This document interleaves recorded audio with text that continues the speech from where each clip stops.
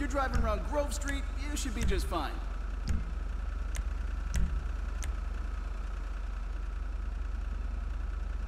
Is that street legal?